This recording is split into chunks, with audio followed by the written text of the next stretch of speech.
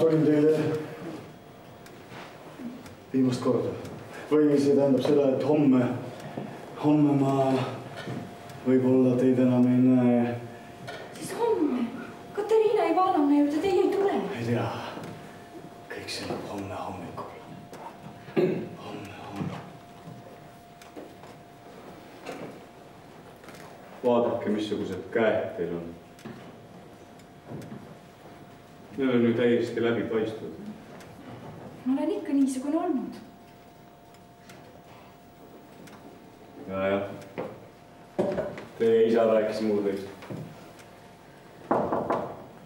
rääkis ka sellest, kuidas te kollase pileti saite ja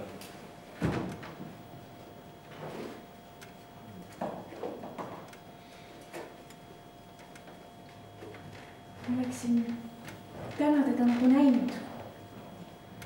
Keda, isa, mis teist nüüd saab? peale tema surma nad kõik jäid ju teie hooleks. ei tea. vastab see tõele, et teie võõrasema Katariina Ivanovna peksab teid, ei, mis te nüüd, ei, peksis, ei, siis te armastate teda?